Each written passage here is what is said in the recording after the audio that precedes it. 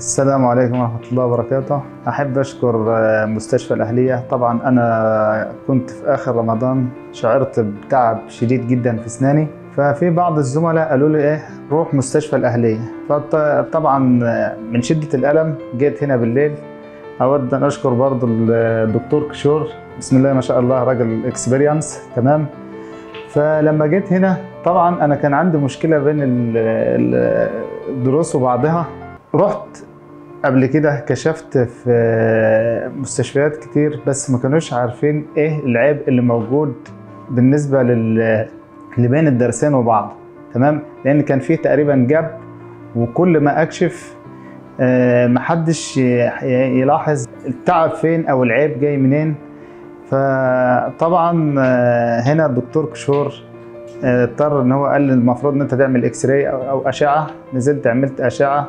طبعا أنا بقول له إن ده ممكن يكون التهاب في عصب أو حاجة لأن أنا يعني ألم شديد جدا جدا.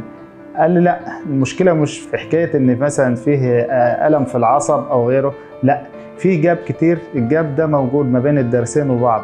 فبيدخل ما بينه وبين بعض الأكل فبيسبب لك المشكلة والألم ده. تمام؟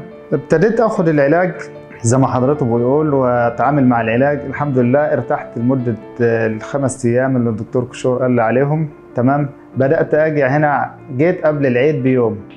طبعا آه، الدكتور كشور يعني راجل قلبه طيب جدا فقال لي لازم إن أنت تحتفل بالعيد مع زمايلك. ما ينفعش إن أنا أبتدي إن أنا أعمل لك آه، يعني ده يعني شبه حشو وفي نفس الوقت هي هيفتح ما بين الدرسين وبعض. فحاول إن أنت يعني تفرح بالعيد وبعد ما تفرح بالعيد تيجي هنا ونعمل لك اللازم. يعني حاول إن أنت تستمتع بالعيد مع زملائك.